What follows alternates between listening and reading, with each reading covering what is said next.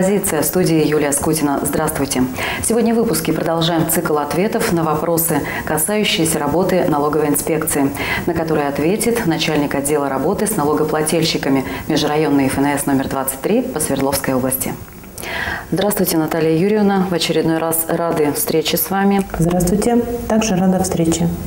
Сегодня хотелось бы задать вам ряд вопросов, которые приходят на наш адрес от телезрителей. Вот, необходимо ли уведомление налоговой об открытии расчетного счета организации? А, ну, начиная со 2 мая 2014 года внесены изменения в налоговый кодекс, и сейчас налогоплательщики э, не предоставляют в инспекцию уведомление об открытии расчетного счета.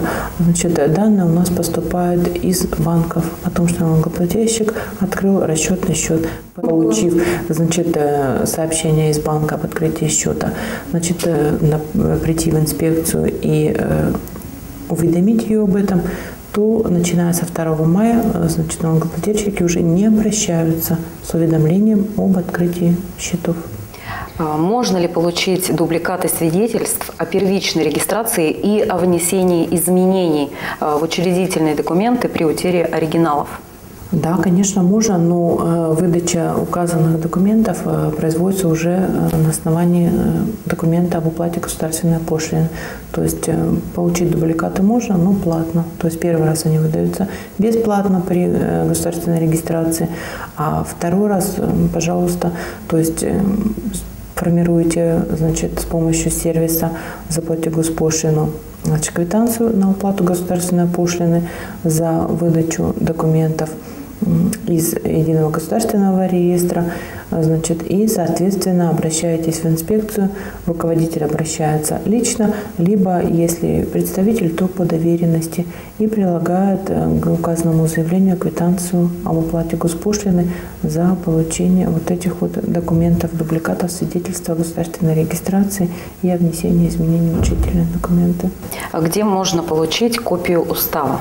Как правило, организация при государственной регистрации предоставляет в инспекцию значит, оригинал устава и, соответственно, уже оплатив квитанцию о оплате государственной пошлины, значит, получает дубликат устава с отметкой регистрирующего органа. А, вопрос следующий. Что делать, если в день регистрации забыли подать заявление на УСН? Ну, давайте сначала расшифруем эту аббревиатуру. Это, это упрощенная система налогообложения. Значит, э, порядок и условия начала и прекращения применения упрощенной системы налогообложения отражены у нас в 346 статье Налогового кодекса. А, соответственно, у нас э, перейти на указанную систему налогообложения, значит, вопрос был задан в день регистрации, если забыли, то вновь созданная организация индивидуальный предприниматель, значит, имеет у нас право перейти на упрощенную систему налогообложения. И, соответственно, следующий такой вопрос. По какой системе налогообложения лучше начинать работать? Э, Э, здесь я бы хотела сориентировать налогоплательщиков на то, что необходимо значит, самостоятельно определиться с выбором системы налогообложения. И, как уже было сказано ранее, на это есть еще время у налогоплательщика с момента государственной регистрации. А прочитать э, и ознакомиться с теми или иными плюсами и минусами той или иной системы налогообложения э, можно также значит, в электронном сервисе создать свой бизнес. То есть там э, в указанном сервисе не только готовится пакет документов на государственную регистрацию, но и отражаются все преимущества и недостатки как общей системы налогообложения, так и упрощенной системы налогообложения. То есть вот э, информацию можно получить э, из указанного источника и, соответственно, определиться, какую на систему налогообложения вам лучше применять. То есть вся информация есть на да. вот этом есть. электронном сервисе? Да, есть электронный сервис, создать свой бизнес. Как выбрать банк для открытия расчетного счета индивидуального предпринимателя? Здесь э, налогоплательщики самостоятельно выбирают тот банк, в котором они будут открывать расчетный счет, и инспекция здесь каких-либо рекомендаций не дает. Значит, э, то есть все зависит от э, желания самого да, желания налогоплательщика. Человека. Тут минималь, э, налоговая инспекция выдает только налогоплательщику тут необходимый пакет документов, э, с помощью которого он и осуществляет открытие счета. Как правило, это документы по государственной регистрации, свидетельство о постановке на налоговый учет и выписка из единого государственного реестра.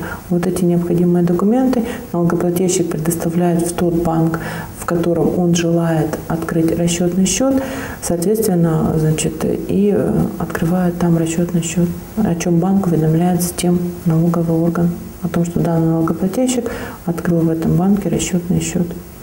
Ну, я думаю, еще можно продолжить вот таким вопросом, э, расшифровать и вообще рассказать, разъяснить, э, что такое ОКВЭД. УКВЭД – это общероссийский классификатор видов экономической деятельности.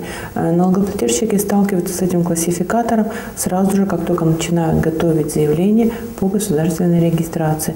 Как для регистрации юридического лица, так и для регистрации индивидуального предпринимателя. То есть по указанному классификатору налогоплательщик самостоятельно определяет те виды деятельности, которыми он планирует заниматься – и каждому виду деятельности в этом классификаторе присвоен свой код который налогоплательщик заносит в заявление о государственной регистрации. Соответственно, выбирая э, из всего перечня кодов тот, который будет основным, это один вид кода экономической деятельности основной, а все остальные сопутствующие. Ограничений по количеству выбора видов экономической деятельности нет. Их можно заявить э, столько, сколько налогоплательщик посчитает нужным указать э, значит, при государственной регистрации. И хотелось бы еще отметить, что если налогоплательщик в процессе своей деятельности желает добавить э, виды экономической деятельности, либо значит, исключить исключить виды экономической деятельности из заявленных ранее, то это тоже возможно. Значит, э, подача э, заявления по установленной форме на внесение изменений в государственные реестры как индивидуального предпринимателя, так и юридического лица, которые подразумевают под собой как добавление видов деятельности, так и исключение видов деятельности из государственного реестра. Соответственно, те виды деятельности, которые налогоплательщик выбирает при государственной регистрации, они, соответственно, находят отражение в едином государственном реестре. И э, для налогоплательщика они отражаются в выписке из единого государственного реестра по строкам вида экономической деятельности. А Наталья Юрьевна, э, вопрос такой. Где лучше зарегистрировать ООО? В какую юридическую фирму можно обратиться? Юридических лиц или индивидуальных предпринимателей, либо подача документов на государственную регистрацию в качестве ИП, значит, э, тоже с помощью этого электронного сервиса, либо обратиться к профессионалам, которые занимаются подготовкой этих документов. То есть выбор. Вот, пожалуйста, налогоплательщика либо самостоятельно, либо с помощью профессионалов. А, большое вам спасибо за то, что вы смогли а, в очередной раз к нам прийти и ответить на все вопросы телезрителей. С удовольствием значит, отвечу на все вопросы, которые будут возникать у налогоплательщиков и с которыми они будут обращаться в вашу передачу. И благодарю всех за внимание. На этом программа подошла к завершению. Если у вас возникли вопросы, касающиеся работы ФНС, задавайте их с помощью смс-сообщений на номер 4647. Я же с вами прощаюсь. До новых встреч.